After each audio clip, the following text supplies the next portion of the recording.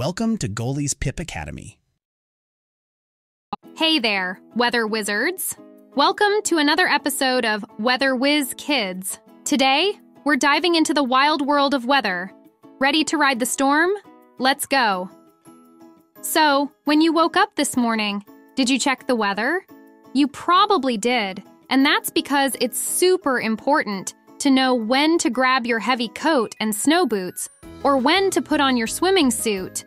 You wouldn't wear a coat in the heat or a swimsuit in the cold, right?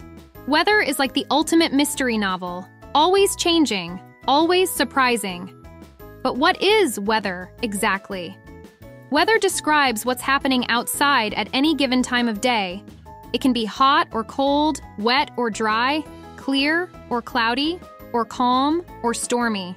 Sometimes it's all these things at once, these changes in weather are thanks to a layer of gases around Earth called the atmosphere. The atmosphere is like Earth's superhero cape, protecting us and keeping our planet at just the right temperature. It's pop quiz time. Are you ready to test your knowledge? Weather can be hot, cold, wet, dry, clear, cloudy, calm, or stormy. A. True. B. False.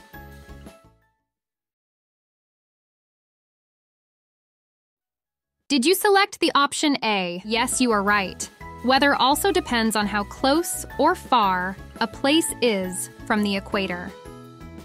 The equator is an imaginary line that separates the northern and southern halves of the Earth. The closer you are to the equator, the warmer it gets. Where you live can make a huge difference in the weather you see. For instance, the weather near the ocean is often way different from the weather near a tall mountain range.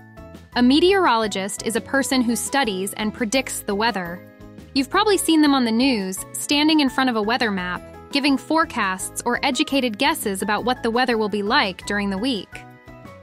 All right, weather wizards, let's dive into the different types of weather and how each is measured. Weather can be hot, cold, or somewhere in between. This hotness or coldness is measured by temperature, Temperature depends on the motion of energy and the speed of gas molecules in the air. Faster molecules mean higher temperatures, which means hotter weather. And guess what tool is used to measure temperature? That's right, a thermometer, and it measures temperature in units called degrees. It's time for another quiz. What tool measures temperature? A. Thermometer. B. Barometer. C. Anemometer. D. Hygrometer.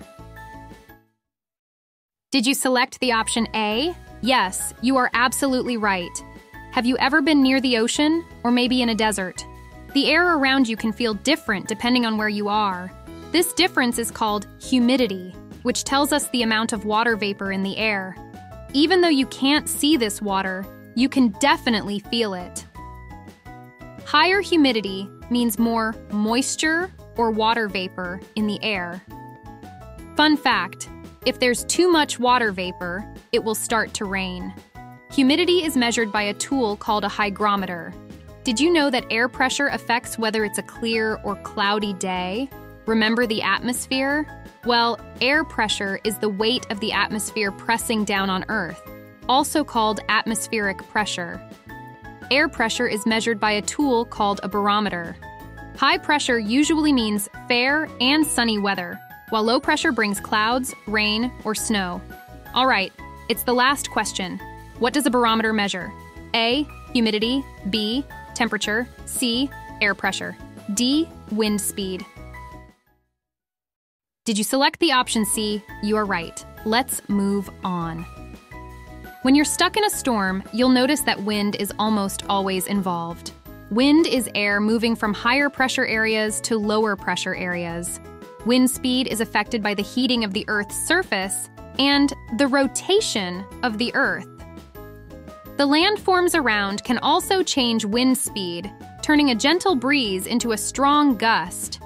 Wind speed is measured by a device called an anemometer. Today, we explored the amazing world of weather. From hot and cold to wet and dry, clear and cloudy to calm and stormy, we've got it all covered. And remember, this fantastic forecast was brought to you by Gooli. the best kids tablet. My mind is blown. Where can I learn more about these videos? Oh yeah, getgooli.com. There's no ads, there's no junk, just cool stuff for kids and a dedicated tablet. Check it out, getgooli.com.